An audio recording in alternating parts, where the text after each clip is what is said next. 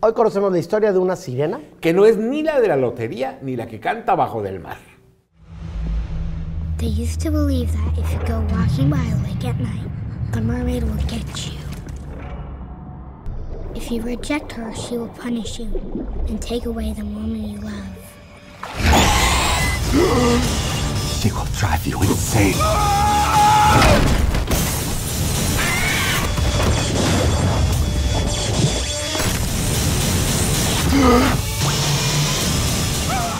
La Sirena es una película de terror y nos cuenta la historia de una serie de sucesos sobrenaturales que ocurren en una casa que está junto a un lago y que persiguen a toda una familia. ¿Qué te pareció?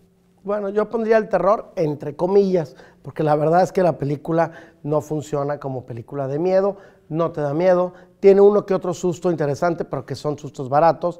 Y creo que lo que más le afecta a la película es que esta es una película rusa, doblada en inglés, subtitulada al español. Entonces eso de estar viendo las bocas que no coordinan con una voz en inglés, te hace perderte más de la mitad de la trama. Creo que además de eso, la película está muy mal contada y aunque tiene algunas atmósferas interesantes, es mortalmente aburrida.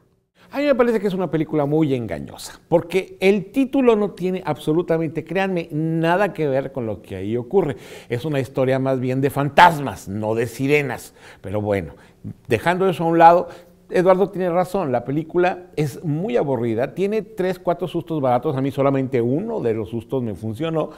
En parte me gustó, por ejemplo, la fotografía, me gustaron las locaciones, pero la película en general me parece que está como para Ay, no sé, ni siquiera para rentarla. ¿eh? A ver, antes de que me digas si la ves o no la ves, que yo ya me imagino por dónde va, ¿cómo nos pueden encontrar en Twitter? Bueno, pues en Twitter estamos como arroba la veo o no la veo. Y en Facebook también estamos como la veo o no la veo. Por favor, denle manita para arriba a este video y compártelo con sus cuates. Ok, ahora sí, ¿la ves o no la ves? Yo no la veo, es el tipo de historias que se deberían de quedar en el olvido.